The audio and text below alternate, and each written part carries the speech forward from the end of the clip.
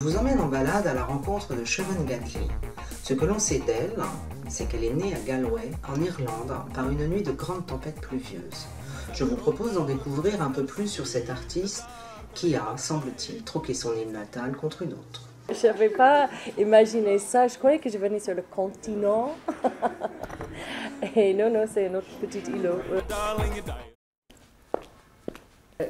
Je dessinais toujours. Euh, depuis tout petit, tout petite.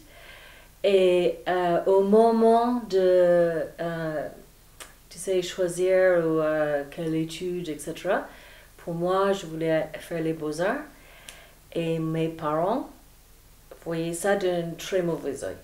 J'étais bilingue anglais-gaélique, j'avais fait mes études en gaélique. Et dès que j'ai pu partir, je suis partie que ça m'intéressait pas du tout. Euh, beaucoup d'Irlandais partent de toute façon parce qu'on est sur une île, euh, envie de voir le monde. J'étais euh, prise dans le studio de création où j'avais été la première femme à être embauchée dans ce studio.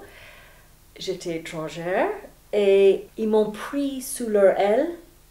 Euh, J'avais le café tous les matins, tous les, tous les demi-heures, je faisais du café pour tout le monde. En tout cas, ils m'ont pris sous leur ils m'ont tout appris, mais vraiment tout appris pendant 4-5 ans de la chaîne graphique.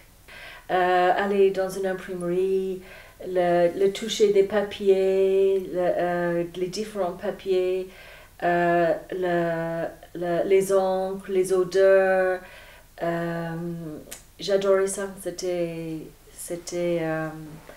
assez magique pour moi. Et aujourd'hui, je, je, travaille avec euh, des imprimeurs non, pour aller voir euh, ou entendre le bruit des machines qui tournent, euh, ce rythme, le papier qui passe dans les rouleaux, et c'est un monde que j'aime beaucoup.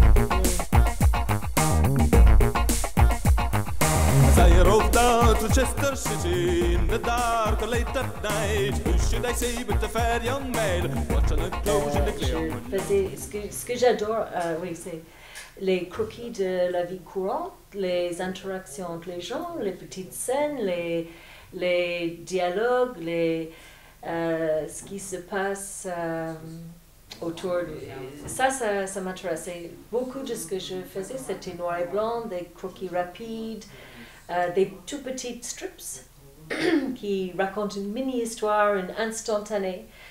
Et euh, ben, la couleur venait petit à petit et commençait à être de plus en plus euh, présente. Et en plus, I mean, je ça ne m'intéresse pas de dessiner des tasses ou des bouteilles ou des, des choses comme ça. C'est capter des, des ambiances, capter euh, l'instant ou capter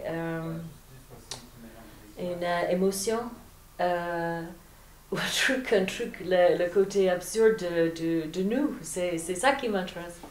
Et toi, comment, comment tu, tu sens ces passages de ne pas toujours être euh, presque, je dirais, euh, prisonnière des petits personnages très colorés? Ouais, ils sont chiants. Hein?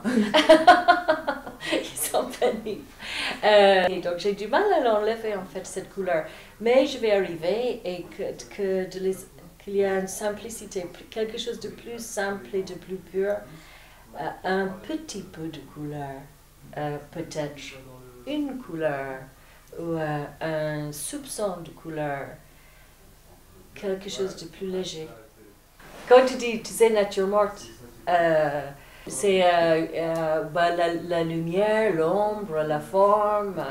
tu peux avoir une pomme plate qui ne, qui ne dégage rien, ou tu peux faire une pomme où wow, je mangerai bien cette pomme.